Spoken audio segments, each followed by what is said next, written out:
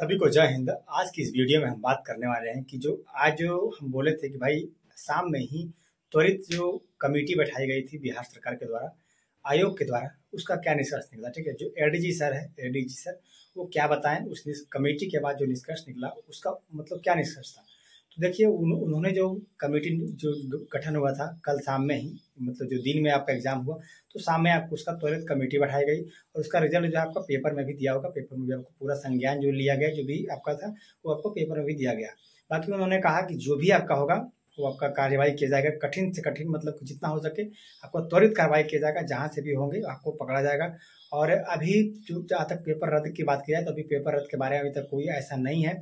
और ये बात सरकार भी मान मानी है कि पेपर लीक हुआ था और चूँकि पेपर नहीं अगर लीक होता तो भाई बाहर में इतना पेपर कैसे आ गया? ठीक है, आपको पेपर में भी दे दिया कि पेपर लीक हुआ था, ठीक है? यानी कि आपको जो न्यूज़ पेपर है, उसमें भी आपका दे दिया कि पेपर लीक है। बाकी हर घर के मतलब हर इंसान के मोबाइल में जो मतलब बिहार पुलिस से संबंध ही नहीं है, उसके पास भी आपका आंसर की आ गया है ठीक है? तो भाई ये कैसे आ सकता है, ठीक है? जब आपने बोर्ड में आपने जब क्वेश्चन बनाया तो क्वेश्चन का एक भी पन्ना अगर बाहर नहीं किया तो फिर बाहर आया कैसे? ठीक है? तो इसमें कहीं ना कहीं आप आपकी भी गलती है आप भी इसमें जिम्मेदार है ठीक है? हालाँकि ये बात को सी ने एक्सेप्ट भी करा है और कब ये बात कहा भी है कि जितना हो सके मतलब कि जिस जिस इंसान की इसमें भागीदारी है जो भी इस तरह से अस, मतलब कि असामाजिक तत्वों को फैलाने में मदद कर रहे हैं उन सबको तुरंत से तुरंत यानी कि त्वरित कार्रवाई की जाएगी उसको पकड़कर उसको मतलब जेल में बंद किया जाएगा ठीक है? जो भी उसके ऊपर कानूनी कार्रवाई होगी उसे किया जाएगा। बाकी बात रहा अगर पेपर लीक की तो इसके ऊपर अब बहुत ही जल्द निर्णय आने वाली है। आपको शायद अगले दिन तक इसका निर्णय आ जाए। आपको पेपर लीक होगी या नहीं होगी, ठीक है, फिर से एग्ज़ाम जो है कंडक्ट करवाया जाएगा या फिर इसी में ही आपका जो है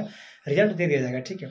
और दूसरी बात, इस कमेटी में एक निर्णय लिया गया कि ताकि अगली जो एग्ज़ाम होने वाला है आपका सात अक्टूबर और पंद्रह अक्टूबर का, इस दो एग्ज़ाम में ये गलती ना हो। हालाँकि इस पहले वीडियो में बनाए, बना चुके हैं, उसमें हम बोले भी हैं कि भाई, अगर इस गलती से अगर सरकार नहीं सीखी, इस गलती से अगर आप आयोग नहीं सीखी तो डेफिनेटली सात अक्टूबर वाला जो एग्ज़ाम है, उसमें भी आपका पेपर वायरल होने होने वाला है, ठीक है? क्योंकि सेटर लोग जो है, जो भी धांधली वगैरह करते हैं असामाजिक तत्वों को जो बढ़ावा दे रहे हैं, वो भाई आगे भी रुकने वाले नहीं है, जब तक कि अब उसे रोका नहीं जाएगा, ठीक है? हालाँकि इसको बढ़ाने में कहीं ना कहीं सरकार की भी ज़िम्मेदारी है। अगर सरकार चाहे तो एक पत्ता भी नहीं हिल सकता, ठीक है? बाकी और भी तो एग्ज़ाम हो रहा है। आपका बिहार में ही देखिए एस एग्ज़ाम करना करवाती है एक पत्ता तक ही नहीं हिलता, ठीक है? अभी हाल फ़िलहाल में आपका एसएसजीडी का एग्ज़ाम हुआ, उसमें भी आप देख सकते हैं। अभी आई का एग्ज़ाम एग्ज़ाम कंडक्ट हुआ, उसका आंसर की जाकर उसमें आपको कहीं भी मतलब नज़र आया, वो भी एग्ज़ाम आपका बिहार बिहार में ही होता, ठीक है? तो डेफिनेटली इसका जो आंसर की बार होता है, इसमें कहीं ना कहीं आपका बिहार सरकार और उसके आयोग भी जिम्मेदार है, इस बात को एक्सेप्ट भी करते हैं।